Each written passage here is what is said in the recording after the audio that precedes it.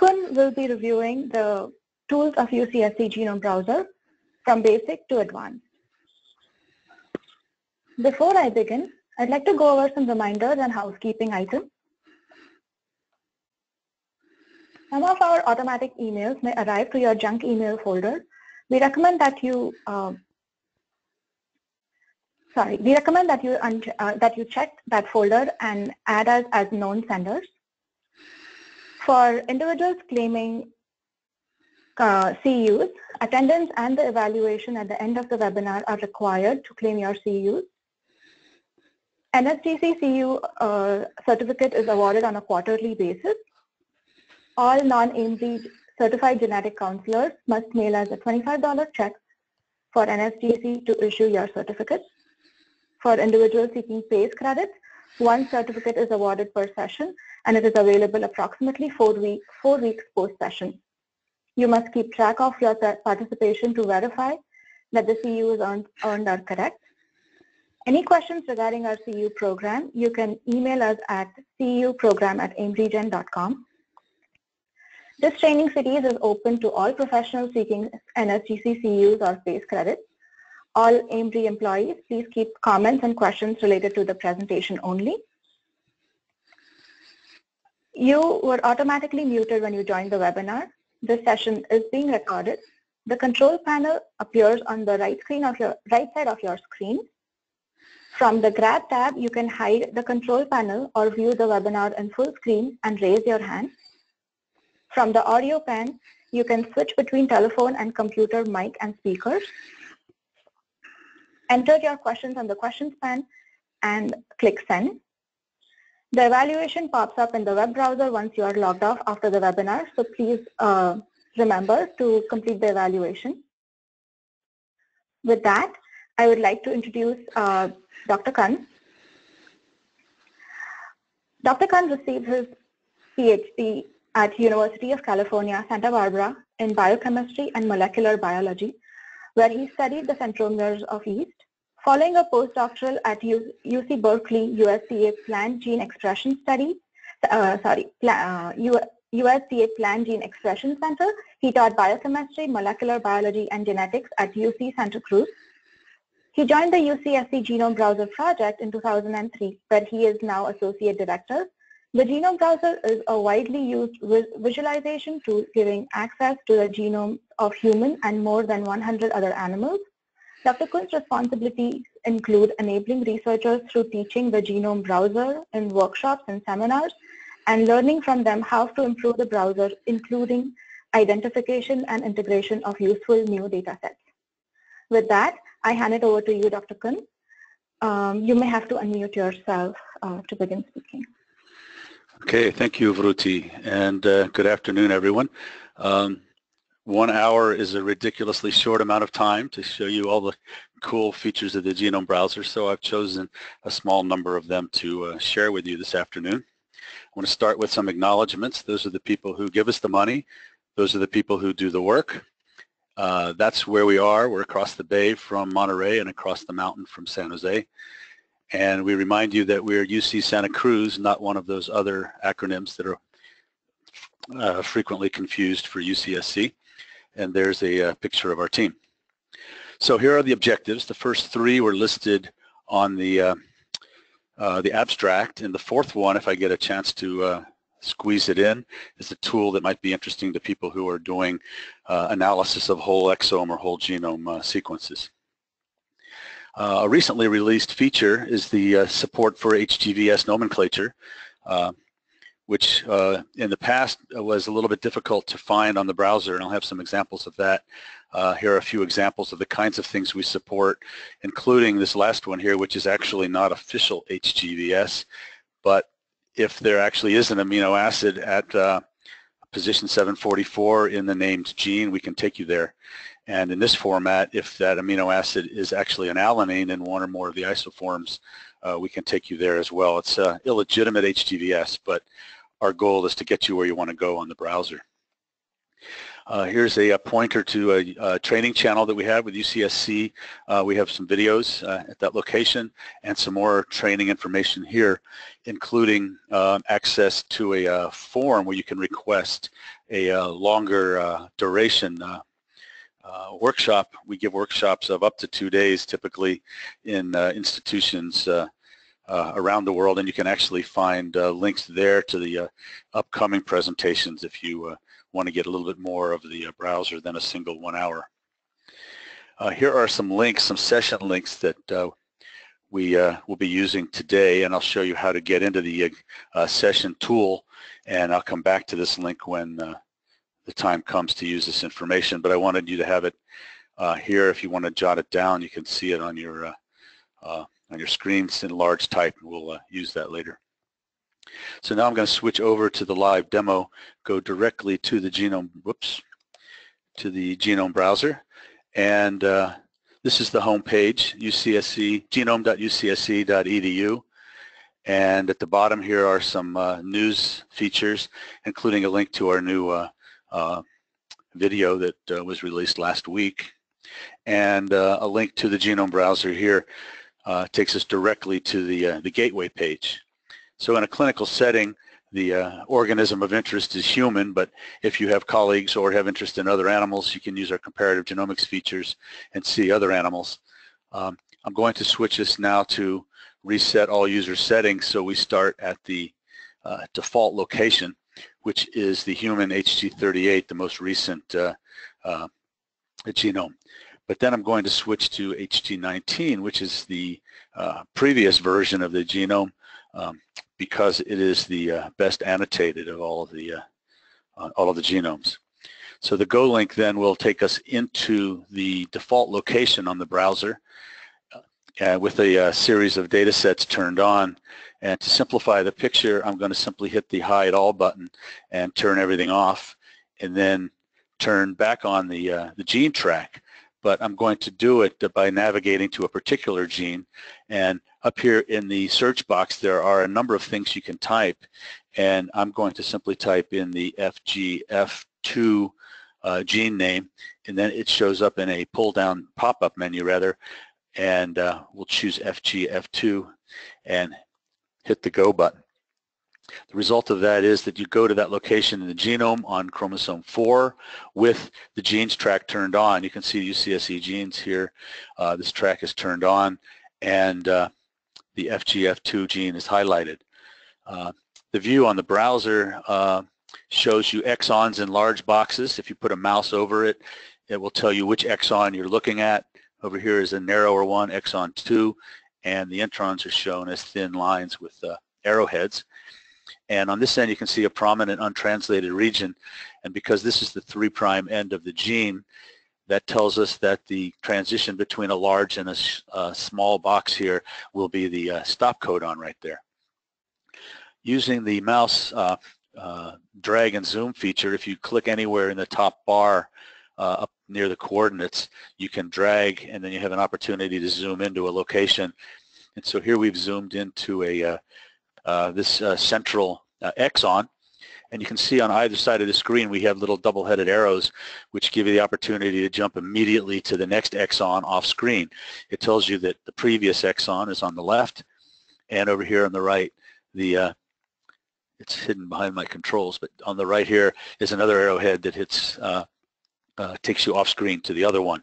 It says next and previous to give you a sense of your orientation uh, in terms of which uh, strand you're uh, transcribing from.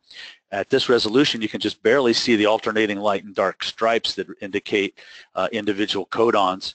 Um, because the genome is so huge, it's often hard to know just what scale you're at, how big a particular exon is going to be. So we try to give you as many hints as possible. When you zoom in even further, you can see that we have enough room now to draw in the amino acid names. And if I zoom even farther, uh, you can have the uh, amino acid numbers. And so you can see here is a, an isoleucine at position uh, uh 207.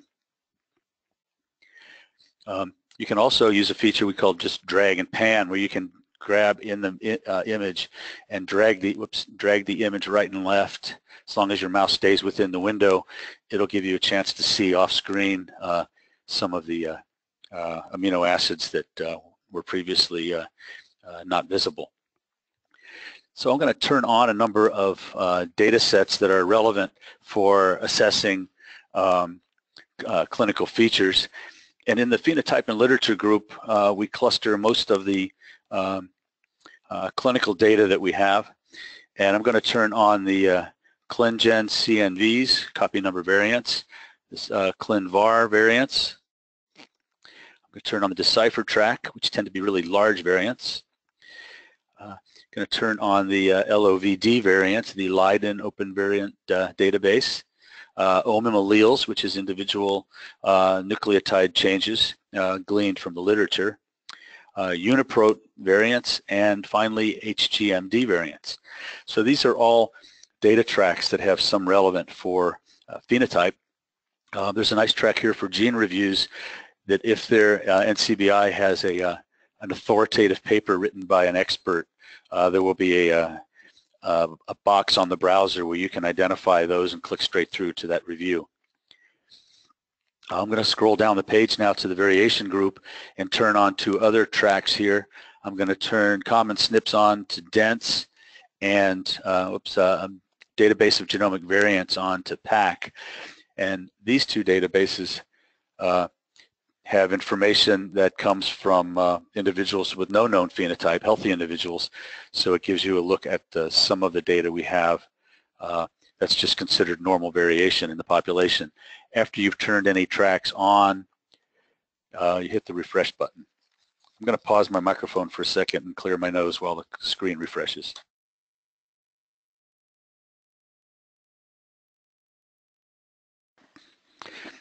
Okay, so here we have uh, you can see that the benign track in ClinGen uh, CNVs uh, is empty, and if those tracks uh, are, are, not interesting to you, using the right mouse button, you can simply get a little pop-up menu here and uh, uh, hide them. You can see that there's a bit of a signal here. It's a this particular total track simply adds up all the items that show up in the window below it. And in some places in the genome, that's a very high number, so you get a peak. Uh, which might be useful instead of looking at all the red and blue bars. Now our paradigm is blue for loss and, uh, uh, I'm sorry, red for loss and blue for gain. And so in this region you can see that we have some that are labeled as pathogenic by the uh, uh, ClinGen and uh, not particularly informative information on this track when you mouse over it. But if you click into it, as with any track, you get individual details about the track. So it's been identified as pathogenic there was a phenotype in the original individual, developmental delay or other significant uh, developmental or morphological phenotypes. And you can see the size. You can see up here that it's 190 uh, megabases in size. So this is a massive uh, variant. And uh, I forget what color it was. We'll go back to the screen when we get back and uh, will tell us if it was a, uh, it was a, a duplication of a very large region. And so other data tracks, uh, sometimes the data tracks in the browser give you some information uh, uh, specifically about the phenotype. So the ClinVar track will give you uh, information about whether a, uh, a particular uh, item is pathogenic, benign, or on certain significance. It has been, these tracks have been contributed to the database by uh, lab directors at a variety of labs. And in fact, we encourage uh, everyone who has data they can share with the world to please uh, put more data into these databases because uh, they can help for the uh, help the diagnosis in other places all, all over the uh, in other labs. The Decipher track tends to be really large, although larger than 190 megabases is kind of hard to find, but uh, you can see here that in the Decipher track, we also, just by mouse over, you get some uh, um, uh, phenotype information, and they vary quite a bit because you have uh, a uh, wide variety of start and endpoints, and uh, necessarily you'll be picking up a lot of different uh, features if you have different numbers of genes.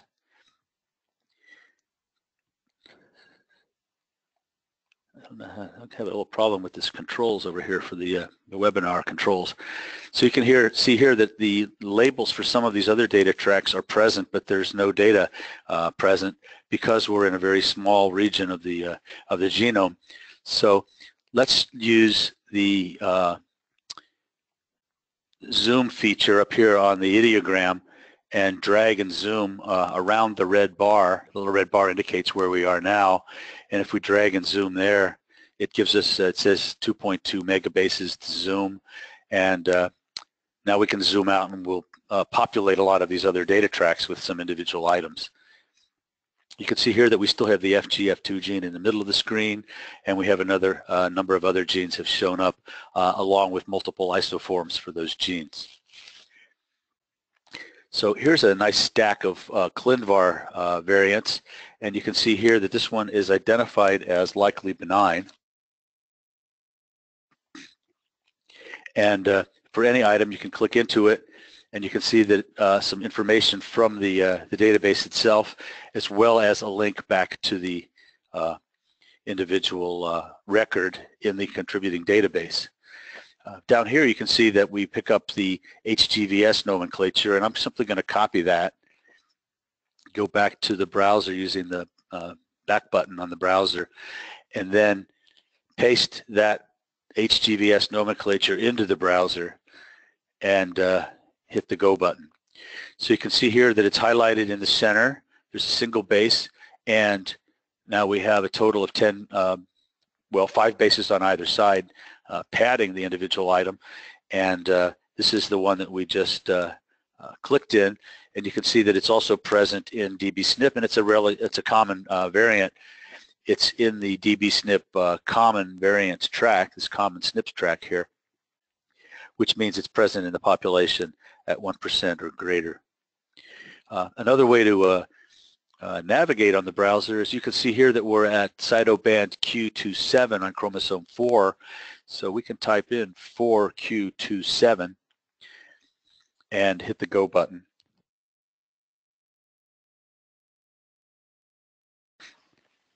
And now we're at a region of three megabases in size and uh, we've picked up a number of other genes flanking this one. So scrolling down the page and looking at some of these other uh, data tracks, here's the HGMD uh, track. These are just the, the, uh, the data uh, that HGMD makes available to the public, which is typically about three years out of date. Their business model is to sell you the recent uh, variants, and so we don't have access to those until they become old enough to share. You can see over here at the right side where we were zoomed in earlier, we still have this little region of uh, color from when we uh, used the HGVS uh, nomenclature. So now scrolling down the page here, you can see there are some regions that are in database of genomic variants, uh, indicating regions that are present in uh, samples of individuals uh, with no known phenotype where these variants are uh, deleted or duplicated. it's also possible to Let's look at this one here. This uh, one was of uncertain significance. This one over here is uh, annotated as pathogenic. And it is possible, although I'm not going to go into it today, to use the table browser to extract just the items that are pathogenic out of this uh, uh, ClinVar uh, track so that you could have a, a, special track of your own, a custom track that you made yourself that would identify the uh, uh, pathogenic variants. But let's say you were interested in this particular gene and you wanted to highlight this region around this uh, BBS7 uh, gene. You could highlight the region and give it a colored highlight of any, any color you're interested in here and we'll simply add that, uh, uh, that colored highlight. So one interesting feature of the browser is that once you've set up the browser, uh, you may be interested in some of these data sets and um, maybe not in others.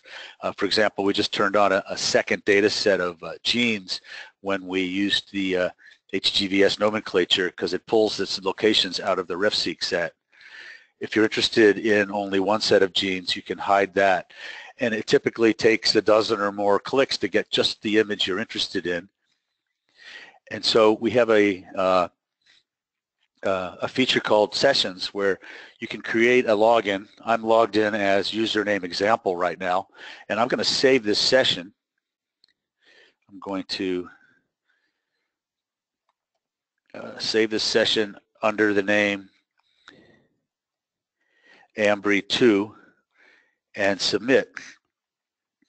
So that uh, means now anybody who has that information, that is to say username example and session name HG19 underscore Ambry2 and those of you who are following along on a computer can do it yourselves right now. You could do type in exactly that and hit submit and then click this browser link up here and your screen will look exactly the way my screen looks right now. So that's a very handy way to keep track of exactly what you've produced so that you can share it with colleagues. Another way to share uh, what you've produced is to export it with a uh, via the PDF feature and the uh, you can ex uh, export the current browser graphic in PDF and this has the uh, the advantage of being a high resolution graphic that you can import into a, a, uh, a graphic manipulation tool, save it at 300 dots per inch, and uh, uh, upload it to a journal and so forth at high resolution without it uh, uh, getting too fuzzy.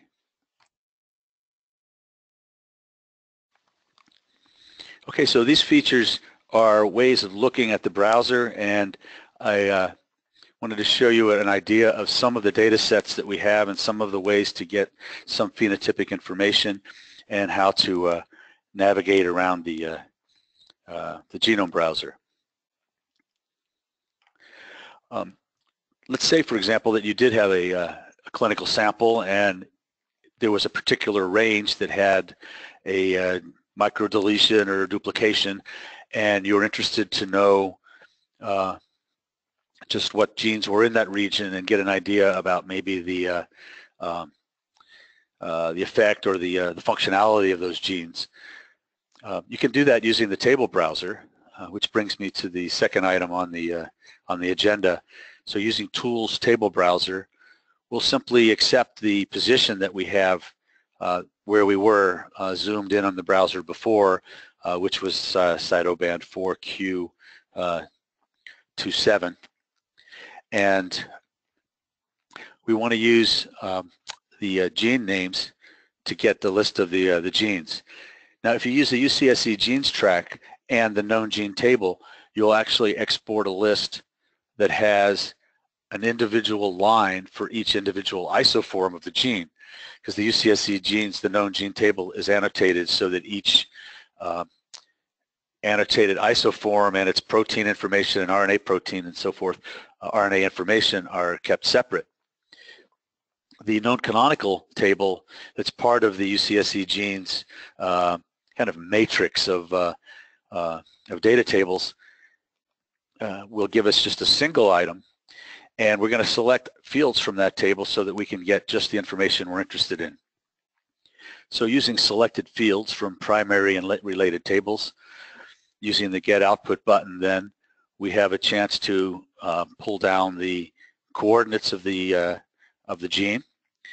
We want to get the gene symbol from here. This is the actual name of the gene that you're used to calling your your genes. For example, BBS7, which was in our list, and then description is the short description. Uh, the very uh, first line on our known gene details page, which I'll show you in a minute, and uh, it pulls this information from uh, NCBI RefSeq. So now we'll hit the get output button to see the results of this query. And you can see that we have a number of individual uh, genes from the uh, chromosome 4 including that BBS7 gene we were looking at which is the Bardet Biedl syndrome 7 it's a uh, individual transcript variant.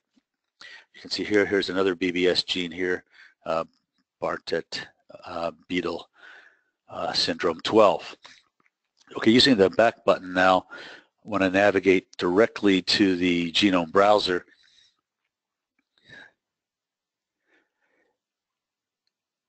and let's click into the BBS7 gene and uh, get a look at some of the uh, other information that's available. Here's the short label that we just saw. This comes from the same data table, the uh, KG cross-reference table that uh, we just exported to the uh, uh, via the table browser.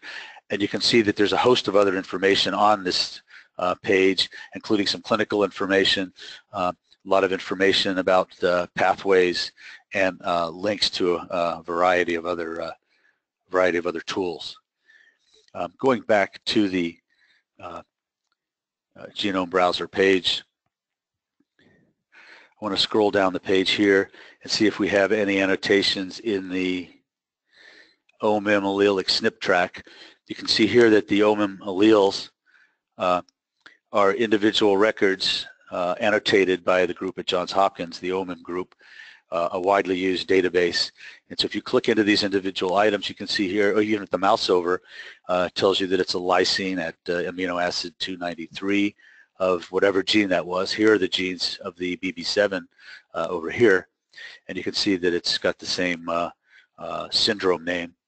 And if you click into one of those items, you can go directly to a page that gives you a tiny bit of information about the, the individual variant but then you go over to the OMIM site and uh, you get information directly from their page uh, where it's a brief paragraph uh, summarizing information that they uh, from the literature.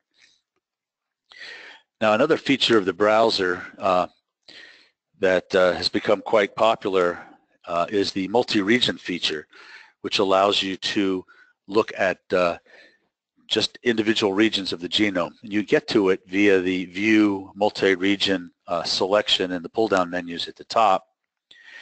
And um, clicking on that, I can show you what the options are, uh, showing just the exons, showing just the genes, or inputting a list of uh, regions that you might be interested in uh, looking at uh, you put Chrome in chromStart and chromEnd into this box, then you can navigate directly uh, to it.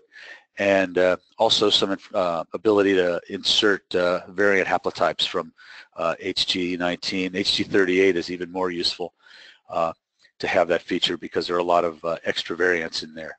At the moment, I'm just simply going to exit this because I want to use the sessions feature to jump directly to an interesting spot in the genome with a lot of data tracks turned on. So using my data, my sessions, we'll go back to the page where we can load sessions. And here's where I want to load one of the sessions that was in this window here, the one called HG19 exons expression 3. And I'll simply copy that information to make it easy to, uh, to load it. And I'm going to restore those settings. And any one of you out there who's got a computer open can do the same. HG19 underscore exons expression 3 and submitting that I go to a browser view now on the uh, uh, on the genome that has a specific set of data tracks turned on and uh, a particular region of the genome. It's a 2 megabase region on chromosome X and you can see that it has four sets of data, each one a different color, representing four different cell lines and the RNA-seq signal from the uh, um, one of the experiments in the uh, uh, ENCODE project. Uh, two tracks are duplicates or replicates of alignment on one strand and the other two tracks are replicates that are alignments on the other strand. Uh, you can see here that this uh, doesn't use up the whole width of my screen because it was made with a, a narrower window we have a little button at the bottom, resize, which will resize the graphic at the top to fit whatever size your Firefox or Chrome window uh, happens to be. So here's where I want to use the uh, uh, exon uh, only uh, mode because you can see here that the exons are fairly narrow and you get a little spike showing the RNA signal from these various uh, cell lines. And in a case where you're looking at RNA, or if you're looking at a, uh, uh, a whole uh, exome sequencing experiment, for example, you're not all that interested in the introns or the regions between the genes. So let's take this uh, 2 megabase region, go to View Multi-Region,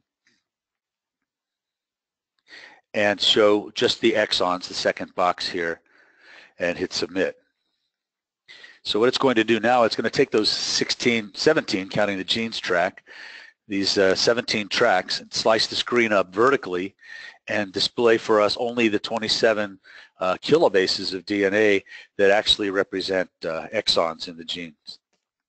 And you can see here that we get a much more robust signal. You can see uh, much more clearly that, for example, this uh, cell line up here is not expressing the FGF13 gene at all. And uh, interestingly, you can see here that are two cell lines uh, representing two different tissues that are representing different isoforms or expressing different isoforms in this RNA experiment. Uh, this particular isoform here is being expressed in this uh, cell line, but not at all in this other cell line. This other cell line represented in blue is using uh, the exons over here in this part of the, uh, the genome. So if you're uh, getting your data from a whole exome uh, sequencing project, you can slice up the screen and show only the regions that are actually exons. Another feature that I often forget to uh, uh, describe uh, is the, uh, uh, the, keyboard shortcuts. So if I type on my keyboard uh, a question mark, there we go, type the question mark, there are a number of keyboard shortcuts which make it easier to move right and left on the screen. As long as you're on this browser graphics page, you can do a lot of uh, uh, different things. For example, we used resize button before. You could type just RS and it would resize. Uh, the one that I use the most, and maybe about the only one I use, is default view, which is a handy way of uh, exiting the uh, whole uh, the exon only mode. So if I just type DV for a default view, it'll redraw the screen the way it looked before.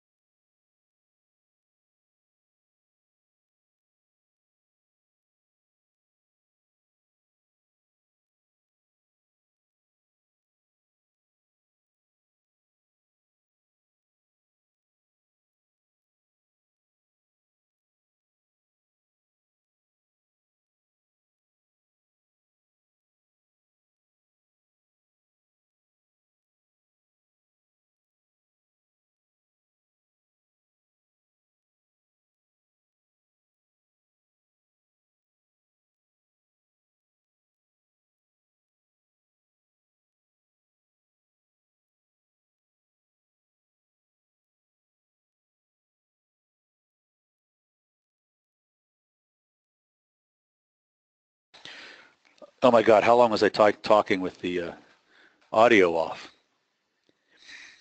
Oh man, do I apologize for that. I have no idea how long I was doing that.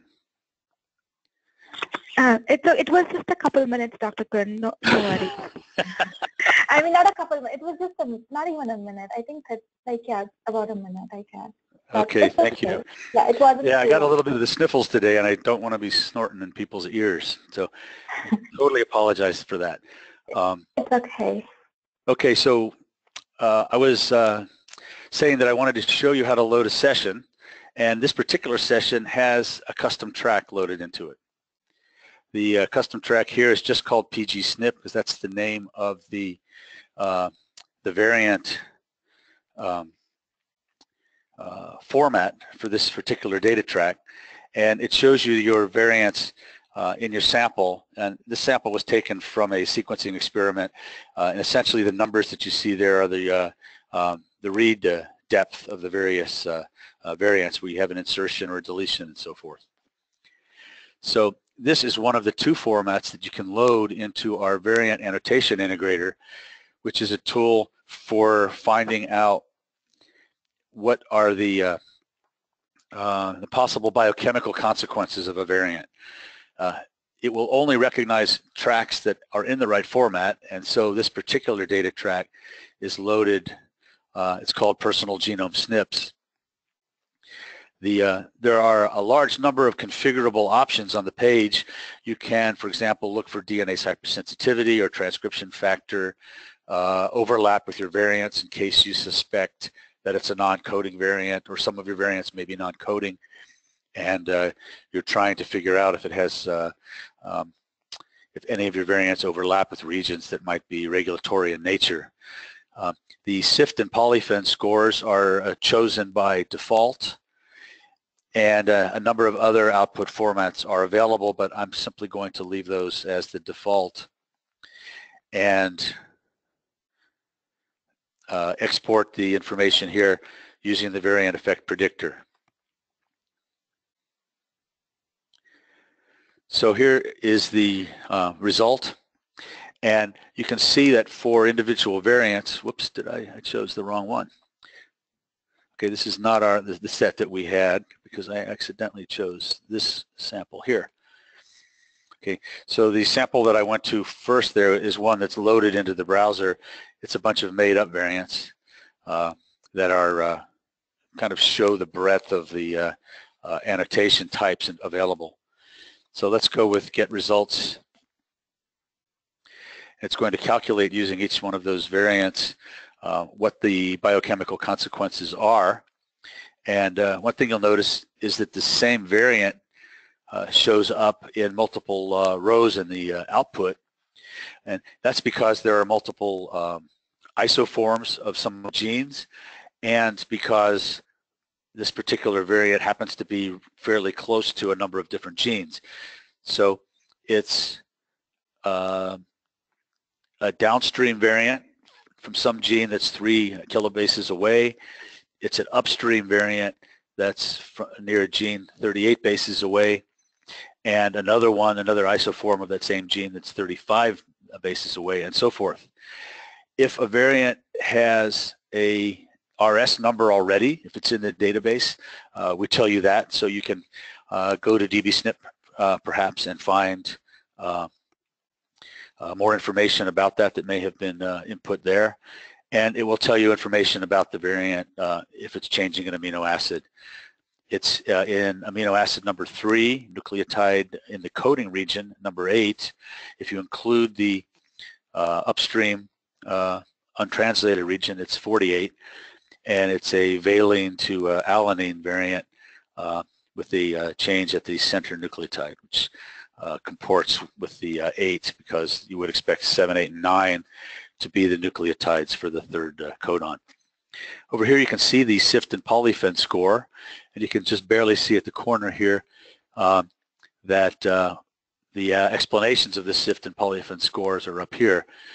And interestingly, SIFT uh, process uh, identifies this variant as damaging and the polyphen identifies it as benign, uh, which is actually useful information to know that the algorithms don't agree with each other so that you have the uh, uh, the knowledge that you might have to dig deeper either into the algorithm or the variant or something like that. Um, if they tend to agree with each other, that gives you a little bit more confidence. Uh, if they both say benign, for example, then maybe that's not the variant that's uh, responsible for your phenotype. So I'm going to navigate back to the, uh, uh, the genome browser here. And uh, I want to uh, point out one feature of the browser that's useful in a clinical setting, and that's the genome browser in a box. So at the Genome Browser store, you can download the tool called Genome Browser in a Box, which is essentially a copy of the genome browser on your own uh, desktop.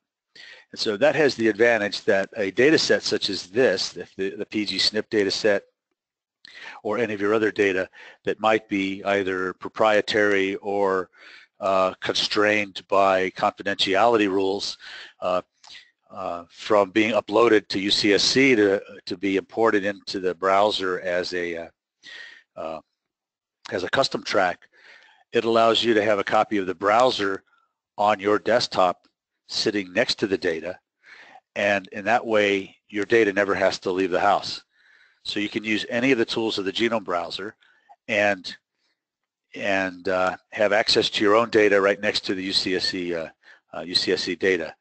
Now the browser store is a bit of a misnomer. It depends on uh, your affiliation, whether you uh, you pay a commercial fee for uh, the setup and the cost, or somewhere down here below, it says somewhere, in, oh, free. Here.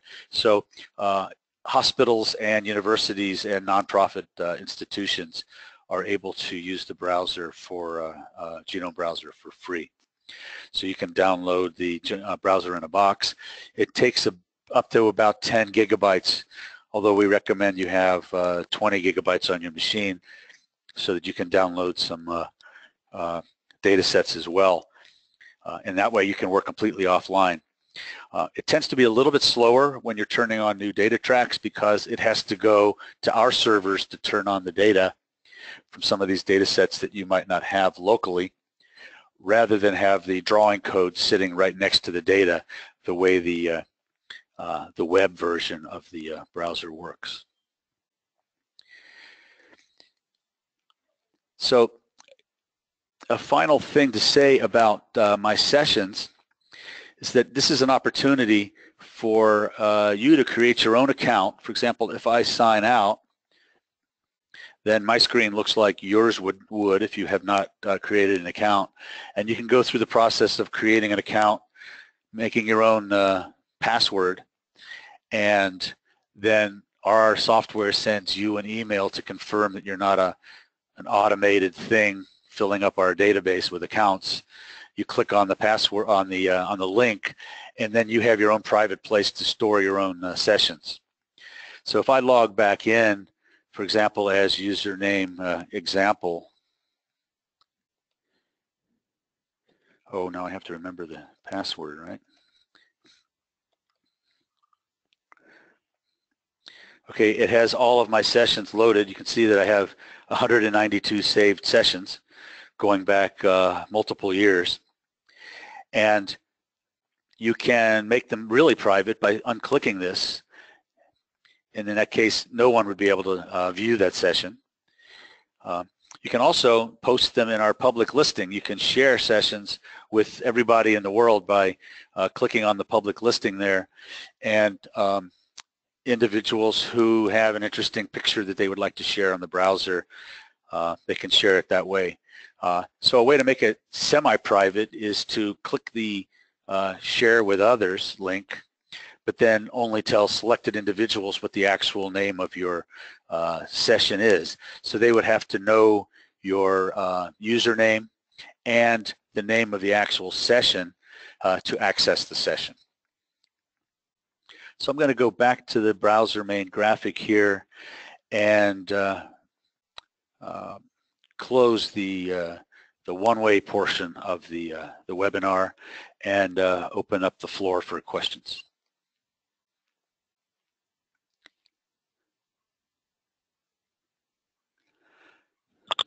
Thank you so much, Dr. Kuhn, for that very informative talk. I for sure have learned a few things about the browser that I did not know. Um, as Dr. Uh, Kuhn said, we do have some time for questions. Just a reminder to anyone who has questions, you can enter them on the questions pane of the GoToWebinar control panel.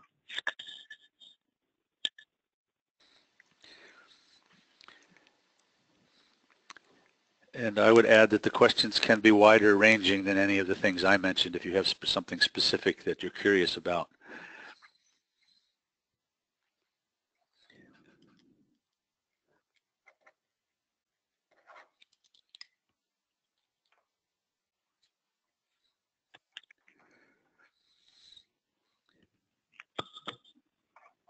Okay, I think that is a question and uh, it is can you address the dense versus squish versus full features? Yes, I can. Uh, in fact, we've got a video in the pipeline right now talking about that. Um, what you see here for the UCSC Genes track is this particular track is in dense right now, uh, which is not going to change very much when we uh, switch it to full. So let's zoom out by a factor of, uh, of 10x. And you can see here we've picked up a few more genes. So this is in PACK. Did I say dense? I'm sorry, it's in PACK. And PACK is the feature that lets us put a name next to each item, and it gives you a, uh, uh, uh, a screen that's kind of condensed. We pack as much information onto the screen as possible. if we switch it now to full, you can see that each item has its own row on the screen, which for some tracks is fine, but for a track that would start to fill up the screen, you would wind up with a diagonal of items across the screen and a lot of empty triangular white space.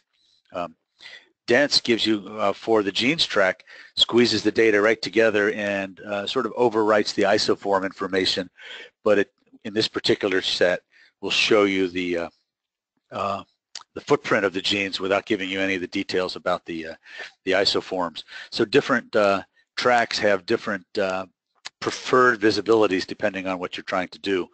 Squish does pretty much the same thing only uh, as pack for this type of track, only as you can see it squishes it even more and you lose the uh, you lose the names. So if I go down to the bottom of the screen and turn on a SNPs track, let's turn common SNPs to PACK. And common SNPs here are distributed as uh, tightly as we can squeeze them onto the screen. Uh, whoops. And uh, full does what you would expect. And you see, here's a case where full is not all that useful. I mean, you can see all the items and you waste a lot of screen space, but you do have the names in a uh, stack over here. Now I like for the uh, SNP tracks, depending on how zoomed I am, I like the, the dense because it throws away the labels and just shows me where the tick marks are so that the individual tick marks are uh, at the particular nucleotide. So if I uh, zoomed into this region right here, um, I would see that there's a, uh, whoops, I missed it. Let's zoom out a little bit. I thought I had a green one in the window there. Uh, okay, so here's a red one and here's a blue one. And so I can anticipate that maybe the next question is going to be what do the colors mean? And the short answer for that is you can find the explanation for any of the color schemes by clicking into this little button on the left side. Uh, uh, but in the context of the SNPs, the red ones will change an amino acid, the blue ones are in untranslated regions, um, and the green ones are in a coding region, but they do not change an amino acid. So if I switch this to PACK and zoom out by 10x, we'll probably pick up a few more. And so here are some uh, synonymous codons uh, where you have a SNP but it doesn't change the amino acid and here's one that does. And so for most of uh, our tracks, if you click into an item, you can learn a lot about them. For example, this one is in the uh, uh, it's in the common SNP, so it's going to have a minor allele frequency of 1% or more, even though it changes an amino acid changes an arginine to a, uh, a, glycine in that isoform, but in this other isoform, it's a phenylalanine to a, uh, leucine, uh, which indicates it's being transcribed in a different, uh, or I'm sorry, translated in a different uh, reading frame.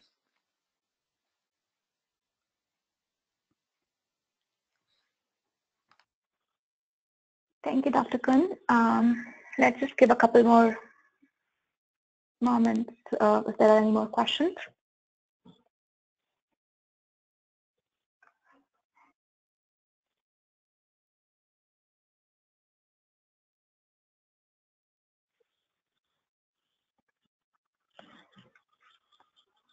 Okay, looks like there are no more questions coming our way. But um, in case anyone has any further questions for Dr. Kuhn after this session, you can email us your questions at um, cuprogram at ambrygen.com.